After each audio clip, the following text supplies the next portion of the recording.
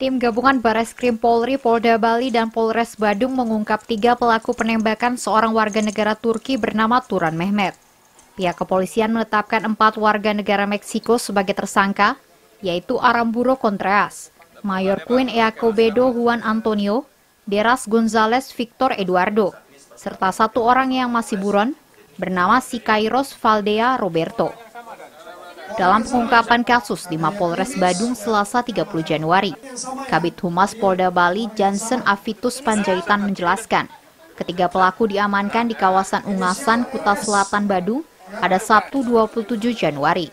Dalam kesempatan yang sama, Kapolres Badung AKBP Teguh Priyowasono mengungkapkan, dari tiga pelaku yang ditangkap diduga kuat melakukan upaya pembunuhan berencana Hal tersebut berdasarkan rekaman CCTV villa tempat kejadian perkara pada Senin 22 Januari, di mana para pelaku sempat melakukan survei lokasi. Petunjuk-petunjuk bahwa ini uh, direncanakan.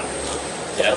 Sebelumnya ada penyiapan senjata api, kemudian ada survei yang dilakukan oleh para pelaku ini sebelum melakukan uh, tindakan pada jam 01 ini. Jadi sebelumnya sudah melakukan survei ke TKP. Kemudian ada uh, jejak digital juga yang kami temukan bahwa uh, ada diduga kuat ini adalah perencanaan.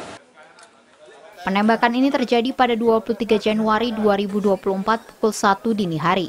Para pelaku mendatangi korban dan melakukan percobaan pembunuhan menggunakan senjata api.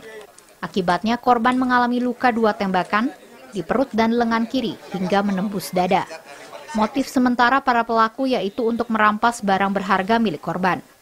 Polisi juga mengamankan beberapa barang bukti, di antaranya tiga motor rental yang digunakan pelaku dan ponsel. Sementara barang bukti di TKP, yaitu empat butir peluru aktif, empat selongsong peluru, dan empat proyektil peluru.